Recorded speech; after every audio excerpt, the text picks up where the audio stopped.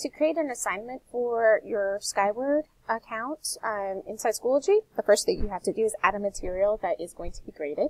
Instead of pressing add materials, I can actually put that material anywhere I want pressing this green plus sign. So if I want the assignment to be at the very top of the class, so as soon as students come in, they complete that assignment, I press this green plus sign, and then now I can go ahead and put in my test or my quiz or whatever it might be. If I were to write sample right here, this would actually end up low in my queue. And the reason why is it's in alphabetical order. So what I want to do is if it's for a grade, I'm going to go ahead and put the due date. Let's say I'm going to have it due today. And then what I'll do is I'll come down here and I'm also going to press that due date.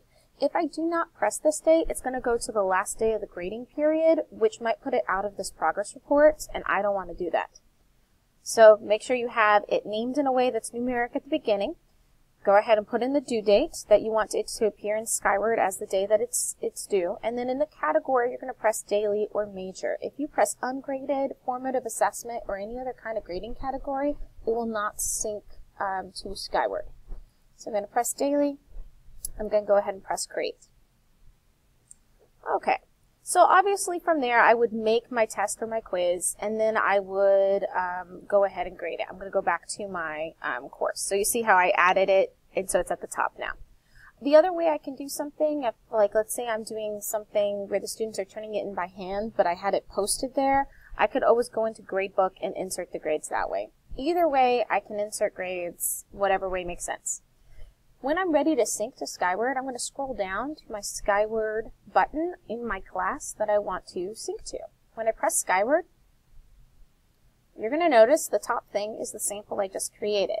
The reason why that sample is the top thing is because there's a number at the beginning. It's not because it's most recent. To come over and sync it, all I have to do is press this button. Within about 30 seconds to 60 seconds, it will appear in Skyward. It's really super fast, really efficient.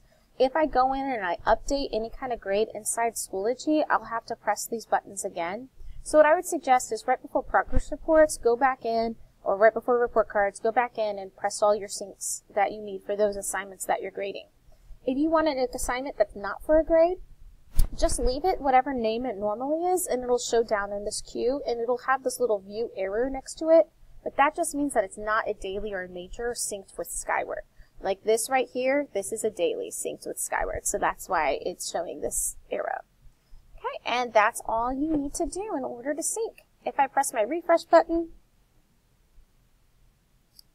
it's already gone through the queue. There we go. It says it's successful, and it says when it was last successfully synced.